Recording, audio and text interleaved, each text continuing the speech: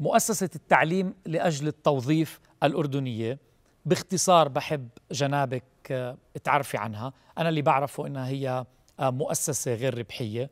أعطي نبذة سريعة تمام. من بعد إذنك وفورا نسمع منك آه، في نفس الإجابة صنعتي بصمتي. ونحكي هالسيارة مش عم تمشي وبدنا نمشي هالسيارات. 100% تمام. إذا إحنا مؤسسة التعليم لأجل التوظيف الأردنية مؤسسة غير ربحية مؤسسة بالأردن من 2006 بنشتغل على تدريب وتأهيل الشباب والشابات الأردنيين بكافة محافظات المملكة لتوصيلهم بالقطاع الخاص بفرص عمل أو بفرص بنسميها فرص اقتصادية يا إما عن طريق التدريب والتوظيف بالقطاع الخاص أو إنه يبنوا مشاريعهم الصغيرة آه، من المنزل. هدول الأشياء اللي بنركز عليهم. صرنا مدربين حوالي 12 ألف من 2006 لليوم ونسبة التوظيف عندنا بحدود ال 85% آه، وبنركز أكثر تركيزنا تقريبا 80% من شغلنا على الأمور الحرفية والمهنية اللي بنشجع شبابنا وشاباتنا يلتحقوا فيها.